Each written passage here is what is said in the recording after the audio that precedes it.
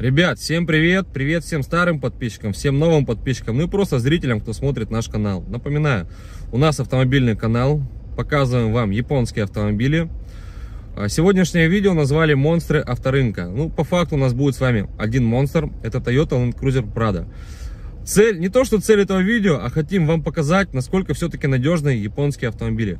Внимание! Автомобиль 1993 года выпуска с пробегом 270 тысяч. И сейчас вы увидите, в каком состоянии он продается. Вот, всем спасибо за подписку, всем спасибо за просмотр. Ребят, поддерживайте нас, подписывайтесь, а, комментируйте видео, ставьте палец вверх, ставьте лайки. Вот, ну и поделитесь видео со своими знакомыми и друзьями. Ну а сейчас идем и посмотрим. Также я хочу вам напомнить, то, что занимаемся мы помощью при покупке автомобилей японские автомобили, работаем по всему Приморскому краю. Вот, если вам нужна помощь, звоните, пишите, обращайтесь. И, кстати, много вопросов, как мы проверяем автомобиль, что входит в проверку. А, друзья, ну, на эту тему будет отдельное видео. Оно, скорее всего, выйдет либо в конце этой недели, либо в начале следующей недели. Все подробненько расскажем, покажем, что проверяем, какие манипуляции с автомобилем производятся. Итак, друзья, что же это такой за монстр. Кстати, этот автомобиль интересного плана. Он без пробега по России. Это конструктор. То есть была рама на автомобиль. Привезли конструктор, двигатель, кузов. Поменяли и поставили. Данный автомобиль 1993 года. Здесь были уже в 93 году произведены доработки. Мотор устанавливается 1 КЗ, дизель есть механическое ТНВД, есть электронное ТНВД. Это действительно надежный, легендарный внедорожник Toyota Land Cruiser Prado. Он очень популярный, что у нас в Приморском крае, что вообще по России. Даже новые прадики выпускаются в таком кузове. Это полноценный внедорожник, рамный внедорожник, раздатки, дефлоки. Все есть. Вы посмотрите просто, как он блестит. Он действительно бальный, с родным аукционным листом. Это мы сейчас все посмотрим. То есть сзади установлена лестница. Я просто... Это невозможно передать словами, как он блестит хорошая резина на литье он. Посмотрите состояние рамы. Да, она как бы обработана немного, но она не гнилая, не ржавая.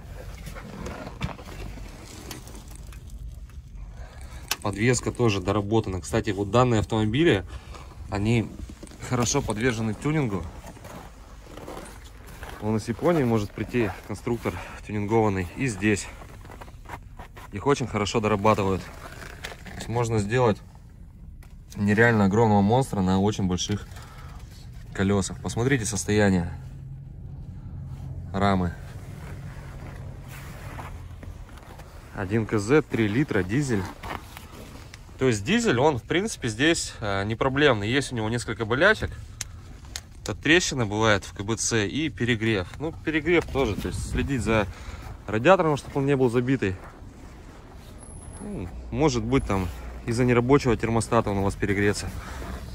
Но в принципе, если вы будете следить за автомобилем, то ходят они очень долго, двигателя. Вообще, э, завод-изготовитель дает ресурс, скажем так, в районе 500 тысяч. Но при должном обслуживании он проходит намного-намного больше, чем свои 500 тысяч. А, коробка передач либо автомат четырехступенчатый устанавливается, либо пятиступенчатая механика на этих автомобилях. Давайте, наверное, посмотрим двигатель. Так, ну, собственно, вот он, сам мотор. 1 КЗ, дизель. Подкапотное пространство, я плохого вам сказать ничего не могу. В плане какой-то коррозии, ржавчины. ТНВД здесь идет механическая. Кстати, есть еще электронная. Вообще вот данные моторы были разработаны и запущены в серийное производство в 93 году. Посмотрите на состояние подкапотного пространства, состояние мотора. Пробег у автомобиля 270 тысяч. Пол ресурса еще не отбегал. Ксенон установлен, но это идет не штатный, того а, японец уже ставил. Здесь не цепь, здесь идет ремень ГРМ. Ремень ГРМ меняется на 100 тысячах. Если он рвется, это, конечно, не есть хорошо. Загибает клапана. Ну и давайте сейчас его заведем. То есть запуск двигателя на холодную. Видели? Мотор с пробегом 270 тысяч. И знаете, самое интересное, то что этого никто не скрывает, потому что этот мотор еще проходит очень и очень долго. Работает как часики.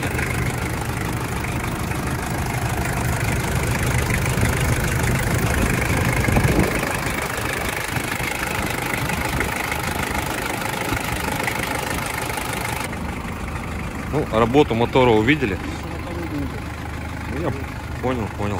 Обратите еще внимание да, на его а, такие прям прямоугольно-квадратные формы.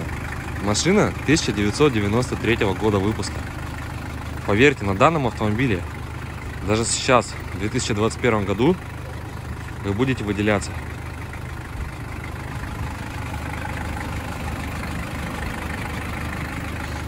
Клиренс автомобиля с завода, он выпускается 200-205 миллиметров, ну, соответственно, у данного автомобиля клиренс намного больше, потому что он задран, у него стоит нештатная подвеска. Лобовое стекло идет родное. Кстати, лобовое стекло такое практически под 90 градусов сделано. Не широкие стойки, что очень хорошо при обзоре. Ну и давайте посмотрим все-таки по салону. У него, кстати, зеркала заднего вида, так называемые уши, они и широкие, и высокие. Очень удобные. А, так, надо сделать потише. Значит, дверная карта. Ребят, раньше автомобили выпускались, все материалы были намного лучше. Вот серьезно. Смотрите, три вида материала. Кожа, тканевая вставка. И еще вот такой вот идет ворс. Все приятное на ощупь. Автоматический стеклоподъемник. Автомобиль 1993 года. Вот такого плана сиденья. 270 тысяч пробег на автомобиле. А его не уделали. Смотрите, какое ковровое покрытие.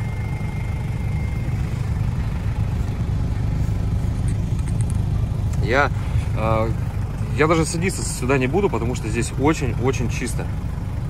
То есть дуйки, вот эта вот ручка, это бонус, только не то, что бонус, да, господи, слово вылетело с головы. Короче, на всех прадиках. Вот он, аукционный лист. Я его по статистике не смотрел, но я думаю, это родной аукционный лист. Пробег 270 тысяч, аукционная оценка 3,5 балла. Кузов автомобиля идет целый. Вот такого плана солнцезащитный козырек. Тоже обшивка, все приятное на ощупь. И смотрите, потолок какой. В каком состоянии потолок.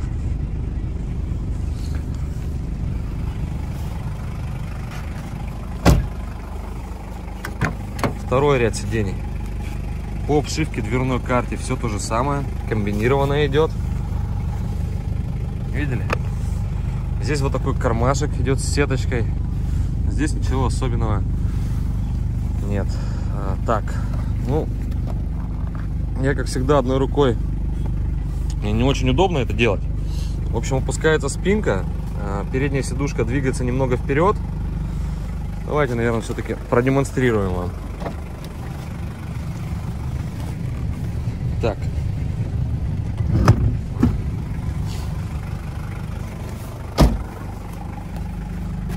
Ну, вот таким образом у нас увеличивается багажное отделение. Третий ряд крепится по бокам. Спать в автомобиле можно, но сложно. В принципе, складывается и раскладывается. Все, ребят, довольно, довольно просто.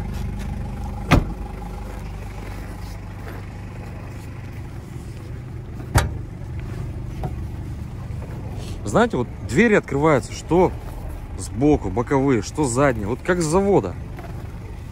Вот серьезно. Кстати, заднюю дверь можно открыть изнутри, если вас там случайно закрыли.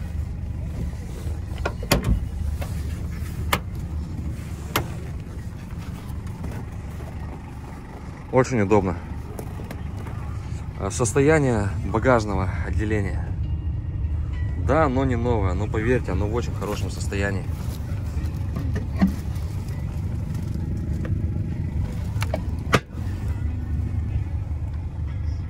При желании, кстати, многие третий ряд сидений, они просто убирают. Там у нас прячутся донкраты, ремкомплекты.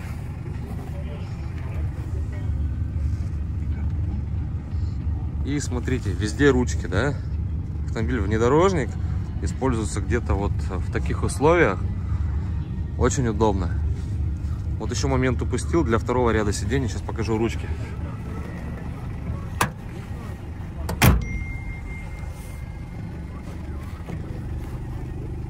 Прям с трудом.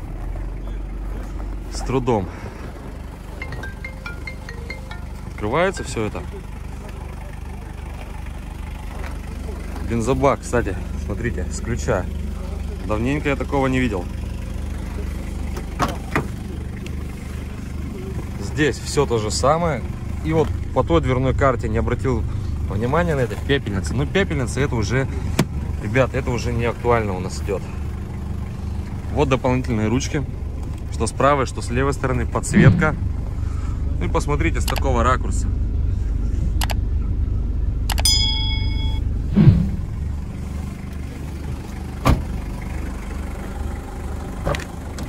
Дальше. Водительское значит, место. 4 стеклоподъемника, блокировка а, дверей, руль вот такого плана деревянный, да, airbag здесь нет сиденье. Здесь постелили коврик. Печка. Ну, открыть, э, я имею в виду дуйка, да, в ноги там на коленке. Открытие бензобака. А, так, это у нас капот. Сейчас немного ноги отряхнем, чтобы залезть. Посадка в автомобиль, да, как бы, э, честно, тяжело садиться в плане, он, извиняюсь, он реально высокий. Вот для нас есть ручка. Ручку взяли. И в принципе, в принципе сели. Вот, что вам здесь показать? Кстати, полный бак бензина, возможно, японского. Пробег на автомобиле никто не скручивал. 270 тысяч. Здесь все идет механически. Здесь есть даже вольтаж аккумулятора. А, значит, включение блокировок L, H, локи все здесь есть. Ну и, кстати, по блокировкам, там тоже мост LCD. А, тут в зависимости от того, ну, скажем так, от комплектации, есть всевозможные разные вариации. Климат-контроля нету, но тем не менее все ясно, удобно и доступно. Какие японцы молодцы все-таки. Есть время, а, розетка на 12 вольт, но она идет еще даже с прикуривателем. Здесь у нас пепельница.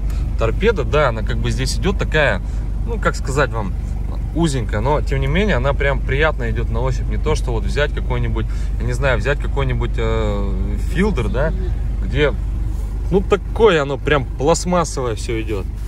Дальше есть регулировка руля, но руль тоже регулируется только по высоте. Вверх-вниз по вылету, конечно же, он регулироваться здесь не будет. Ну, опять же, из удобств, все, зеркальце здесь здесь нету. Ну и стоит самый такой простой, надежный автомат. Ручник, где положено. Бардачок, ремешки безопасности. Места, поверьте, в автомобиле, ну, действительно очень много. Кстати, для водителя тоже предусмотрено вот такого плана вот ручка. Так, друзья, ну и вот здесь э, это регулировка подвески. Но сейчас, в данный момент, эта функция не работает, потому что...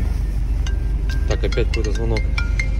А, эта функция в данный момент не работает, потому что в Японии японец установил другую подвеску. Она здесь задрана на 2 дюйма.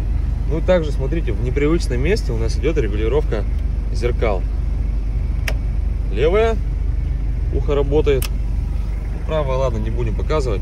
Оно тоже Я уверен, что в этом автомобиле работает все, что должно работать. Понятно, магнитофончик установили здесь такой нештатный. Ну, что вам еще показать? Обзорность просто великолепная, шикарная. Автомобиль. Сейчас выйдем еще раз на внешний вид. Напишите в комментариях, как вы относитесь к таким автомобилям.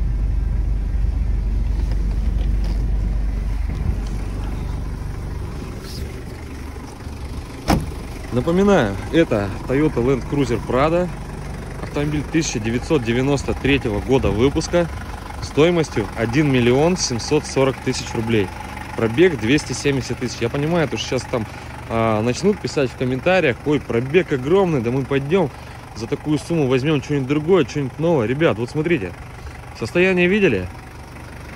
1 740, пробег 270 тысяч. Покажите мне любой другой автомобиль не японский, который столько проездит. Что с этим автомобилем было сделано? Напоминаю еще раз. То есть был, грубо говоря, какой-то старый автомобиль, рама от него, привезли конструктор, кузов, двигатель, автомат, подвеску, поставили все на раму. Кузов на э, рамных автомобилях это не номерной агрегат. То есть на кузове здесь никаких идентификационных знаков нет. Номер рамы ВИН, как это любят. Кстати, резина прям новая с эмельками. Есть только на раме. Вот такой вот монстр. Один единственный. Продается на авторынке зеленый угол. Ну и также хочу напомнить то, что автомобили есть. Автомобили на авторынок понавезли. На сегодня все. Спасибо, кто досмотрел до конца. Не забудьте оставить комментарий, поделиться этим видео, подписаться на канал. Всем пока!